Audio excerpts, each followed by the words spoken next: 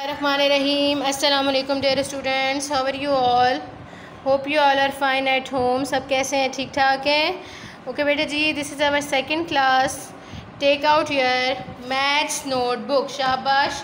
जल्दी से सब बच्चे मैथ्स की नोटबुक निकाल लें हरियप शाबाश। मैथ्स की नोटबुक निकाल लें सब। शाबाश hurry up take out maths notebook शाबाश हरियप मैथ्स की नोटबुक निकाल लें and take out your pencil open it and reach the page number six eight sixty eight शाबाश, जल्दी से आ जाएँ पेज नंबर सिक्सटी एट पे hurry up page number sixty eight शाबाश। पेज नंबर सिक्सटी एट पे, अभी हमने डेट राइट करनी है डेट है आज हमारे पास थ्री मंथ है नाइन और ईयर है two thousand twenty class work है, ठीक है? और डे हमारे पास है थर्सडे ठीक है? T H U R S D A Y Thursday ठीक है? दोनों पेजेस पे आप इसी तरह डेट राइट कर लो सिक्सटी एट सिक्सटी नाइन दोनों पे, ठीक है? Three nine two thousand twenty class work and Thursday ठीक हो गया मेरा बेटा? ये हो गया आपकी date and day okay look at here ये कह रहे हैं trace the number and colour the fifteen leaves ठीक है? फ़र्स्ट ऑफ़ ऑल आप इस फिफ्टीन की ट्रेसिंग करें. शाबाश take out your pencil and do tracing इसकी ट्रेसिंग करें. उसके बाद आपने ग्रीन कलर निकाल लेना है. लाइट ग्रीन ही निकाल लें बेटे. ये फिफ्टीन लीव्स हैं. इन फिफ्टीन लीव्स को पहले आप कलर के साथ ट्रेस करें और फिर उसके अंदर कलर करें। शाबाश हरियाब सिर्फ़ लीव्स में कलर करने हैं और पूरे ट्री में कलर नहीं करना, ठीक है? सिर्फ़ लीव्स में कलर करने हैं, पूरा ट्री में कलर नहीं करना। ये फिफ्टीन लीव्स हैं, आपने इसको पहले कलर के साथ ट्रेस करना है, उसके अंदर कलर करना है, ठीक है मेरा बेटा? जल्दी से कर ले मेरा बेटा हरियाब शाबाश।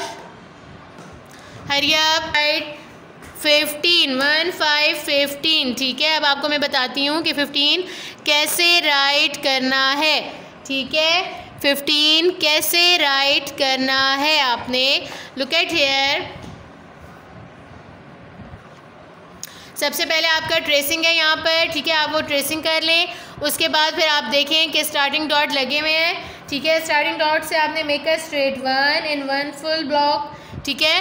फुल ब्लॉक में आपका वन आ गया। अब फाइव की बारी है। फाइव भी पूरे ब्लॉक में आएगा, लेकिन साइडों से वो ब्लॉक को टच नहीं करेगा। ठीक है? अब look at here put pencil on the starting dot make a small one and make a big tummy round and make a one arm on the line ठीक है? अब ये देख लें कि ये साइडों से टच नहीं हो रहा। ये साइडों से टच नहीं हो रहा। कुछ बच्चे फाइव यूँ भी लिखते हैं ऐसे करके ऐसे ले जाके ऐसे लिखा होता है। ये रॉन्ग है, यहाँ से ये ऊपर नहीं जाना चाहिए, यहाँ से ये आगे राउंड होना चाहिए, ठीक है? ये आपने गलत लिखा हुआ है बेटे।